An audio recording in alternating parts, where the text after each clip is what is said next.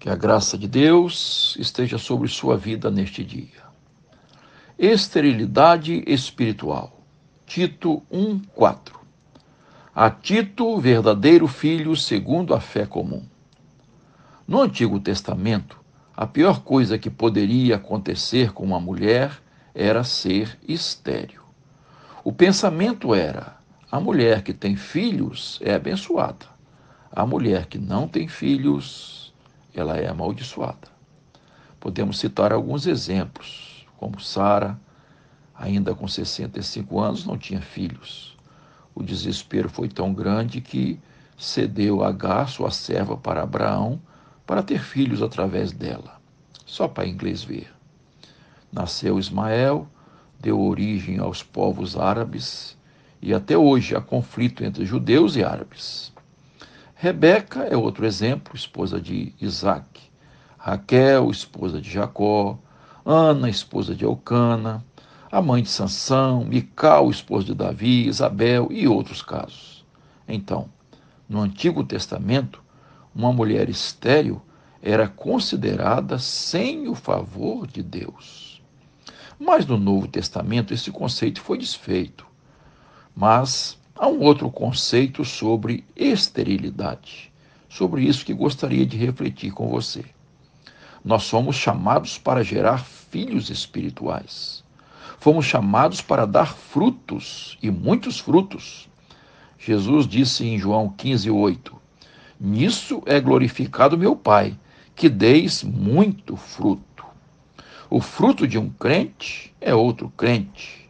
É claro que produzimos outros frutos na vida cristã, mas há algo que nos preocupa hoje. É sobre a esterilidade espiritual. Não estamos tendo filhos espirituais. Não estamos ganhando vidas para Cristo, pelo menos como deveríamos. A maior alegria do cristão é ter filhos na fé. Paulo menciona com muita satisfação que Tito era seu filho espiritual. Trata-se de alguém que veio a Cristo por intermédio do ministério do apóstolo Paulo. O mesmo ele fala de Timóteo, 1 Timóteo 1:2. A Timóteo, verdadeiro filho na fé. Embora Timóteo tivesse recebido da mãe e avó desde a infância instruções nas sagradas letras, mas sua conversão se efetivou e se consolidou por intermédio do ministério do apóstolo Paulo. Timóteo tornou-se companheiro de viagem, cooperador e amigo de Paulo, um verdadeiro filho na fé.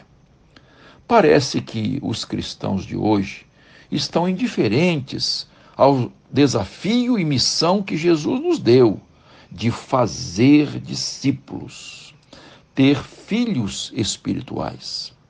Estatísticas mostram que há pessoas que se converteram há muitos anos, mas nunca tiveram a alegria de ganhar uma vida para Cristo.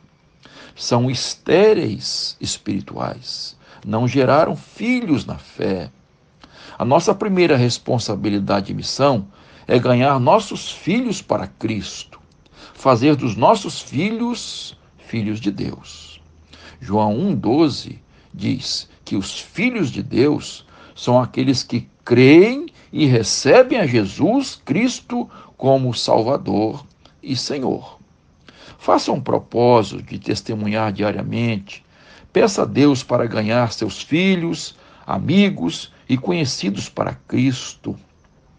Deus não quer que sejamos estéreis espirituais, mas que tenhamos muitos filhos na fé, para a glória do Senhor. Vamos orar? Pai, obrigado pela bênção de ser teus filhos. Abençoa a igreja para que ganhe almas para Cristo. Abençoa também nossos queridos irmãos, cristãos que estão nos ouvindo, nos acompanhando, para que tenham muitos filhos na fé, para que ganhem almas para Cristo, para a tua honra e glória. Nós oramos em nome de Jesus. Amém.